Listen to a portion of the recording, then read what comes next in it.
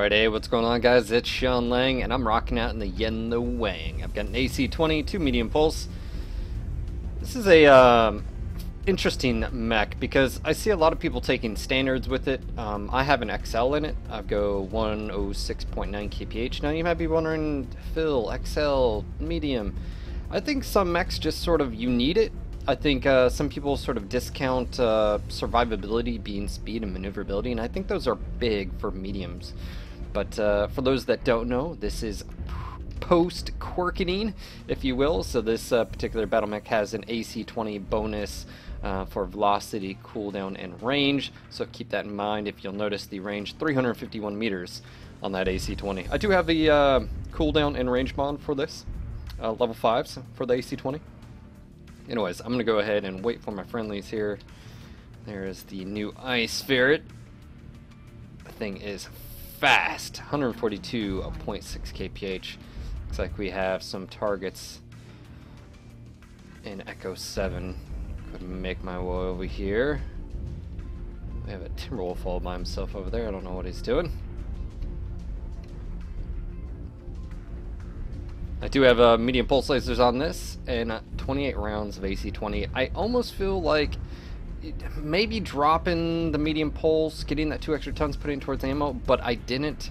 The main reason being is when you do run out, I would prefer to at least have the damage of the medium pulse. I'm gonna go up here and help these guys. Potentially. They have something come up here. Speaking of which, oh yeah, he just got, oh, he's dropping already. Get cover.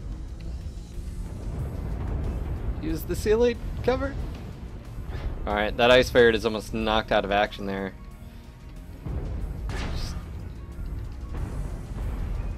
Uh, got multiple targets off in the distance. I'm gonna go ahead and hook left here.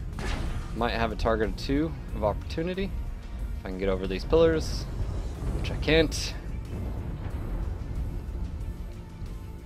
It's interesting those Jaegers are running Gauss setups instead of the AC uh, benefits that particular uh, mech may have. But high profile uh, ballistics, you can't blame them. Does make for some uh, really good uh, Gauss platforms. Follow this ice ferret right here.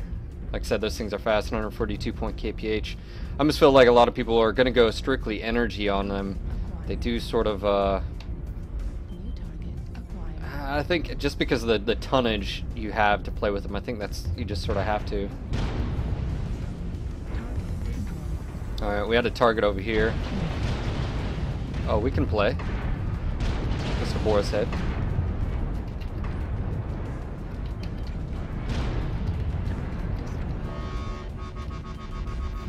I'm gonna go after the right torso. This Boar's Head has an AC 10 and medium pulse laser bonus.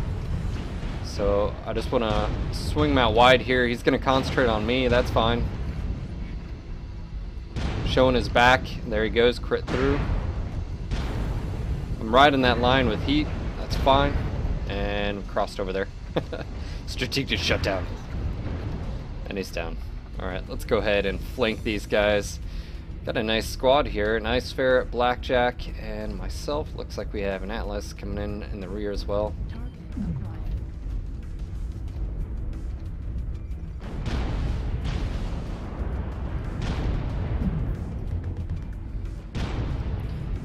The nice thing with these uh, velocity increases is you don't have to lead your targets as much.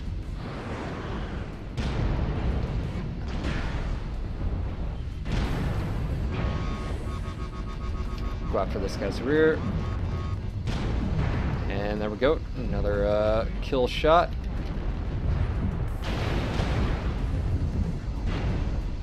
And Jenner... Uh, no. Trying to line up a shot, couldn't get it. E6, we have a direwolf apparently. Ryan, oh there he is. 351 meters, bam. Get the full amount of damage there.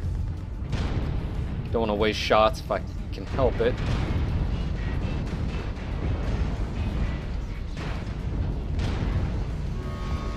And he's down.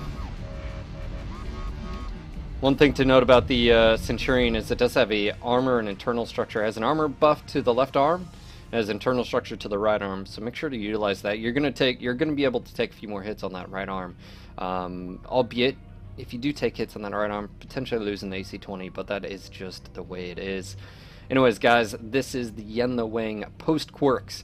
And as you can see, 689, that was quite fun. I know a lot of familiar names in here, including Colonel O'Neill and a few others. Anyways, guys, check this out. Let me know your builds and if you like this particular mech and setup. Until next time, Mech Warriors.